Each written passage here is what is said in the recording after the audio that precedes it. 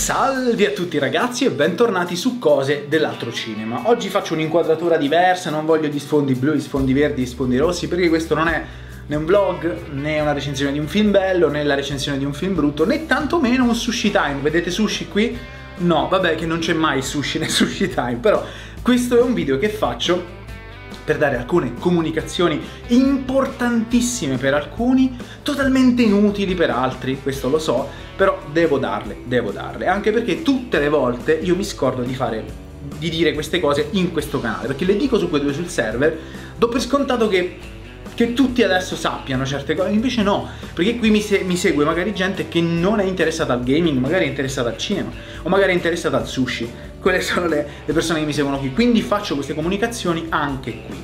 E, e, e, voglio consigliarvi un paio di canali, in realtà uno ve l'ho già consigliato, però tra un po' c'è nell'aria una collaborazione con questo canale, quindi ve lo riporto un attimino alla mente, ma sicuramente ve lo ricordate perché il suo è un ottimo canale, soprattutto se amate l'horror, è il canale Ore di Orrore, e con Ale di ore di orrore probabilmente a breve termine si farà un bel video. Non so ancora di che natura, ma quando entrambi avremo un po' meno impegni e potremo dedicarci a una collaborazione, che saprete sicuramente un po' più, un po più laboriosa di un video fatto così come lo sto facendo adesso, vi faremo vedere qualcosa di carino, o almeno è quello che spero. Il suo canale quindi Ore di Orrore lo consigliai anche un po' di tempo fa perché è veramente molto valido, soprattutto se volete sentir parlare di horror che non stanno in televisione, che non stanno adesso al cinema, ma di horror che vi siete persi anni fa. E, e vorrei anche consigliarvi un altro canale che probabilmente conoscerete perché anche questo canale, a parte il fatto che è grandicello, ma poi è veramente figo, e sto parlando di Horror Bakery, questo duo fenomenale, un ragazzo e una ragazza, fanno questi video che sono sono come le ciliegie, sono piccoli, corti, ma stracompressi, stradivertenti, stravivaci e questi ragazzi adorano tutto ciò che è horror, sia parlando di cinema che parlando di videogames, ma non è che trattino proprio solo esclusivamente horror, fanno delle belle virate ogni tanto, ma diciamo che il filone anche qui è lo horror. Sinergo, ma consigli solo canali che trattano lo horror? Perché ci hai consigliato Stroncando l'orrore, eh, ore di orrore, horror bakery. Sì, mi piace tanto l'horror, ok? Prima o poi consiglierò... Vabbè, ve lo consiglio adesso, ok? Tenetevi pronti, carta e penna. Questo è un genio. Questo è un genio, vi giuro. Allora, Pronti? The Food Emperor, l'imperatore del cibo. Questo tizio è fuori di testa come un balcone. È fantastico, io adoro i suoi video, non vi nascondo che gli ho mandato anche un messaggio per chiedergli una collaborazione perché impazzirei a collaborare con un tizio così.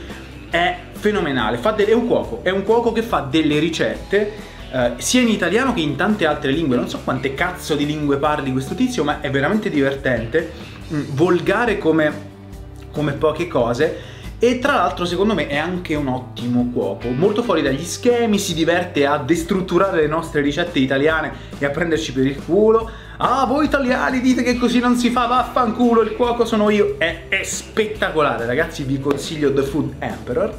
E poi vorrei fare una comunicazione di servizio sarò al Games Week, ci sarò in veste di sinergo di quei due sul server, ma tendenzialmente io credo che mi si possa contare anche come sinergo di cose dell'altro cinema, visto e considerato che per mia sfortuna sono la stessa persona e quindi ehm, se voi siete da quelle parti eh, potremmo cogliere l'occasione per guardarci finalmente in faccia occhio ad occhio, stringerci la mano e se non c'è troppa ressa scambiare due chiacchiere.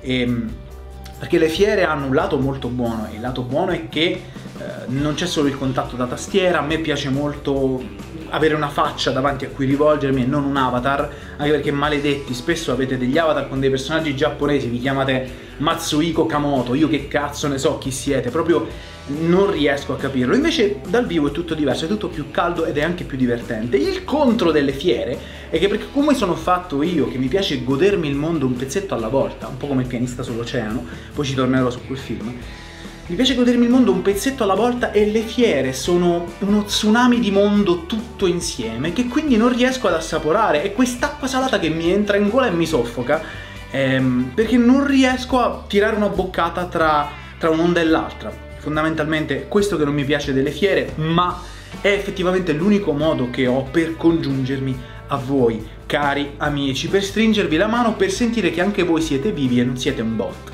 ok? Quindi sarò al Games Week, ci sarò di sicuro tutta la giornata di venerdì e tutta la giornata di sabato, poi tornerò nel Molise di domenica e ripartirò dopo tre giorni per Lucca dove sarò per tutto il pomeriggio di giovedì se non sbaglio tutto venerdì e poi ripartirò uh, sabato a pranzo, quindi ci sarò anche il sabato mattina. Sarò prevalentemente nell'area gaming che è una zona che sta giù, mi sembra, rispetto alle mura di Lucca sta giù, adesso non ho ben capito, però la, l'area gaming, starò lì sempre con quei due sul server, ma vale lo stesso discorso, ok, cose dell'altro cinema con due sul server. Cercherò anche di farmi un giro mh, a Lucca e nel Games Week, cercherò di non stagnare lì nel mio stand, ma sostanzialmente farsi un giro a Lucca per me, che mi piace il mondo un pezzetto alla volta, è un po' una tortura, perché c'è troppa gente tutta insieme almeno nel mio stand so che metto la testa in un angolo e per un attimo posso riposare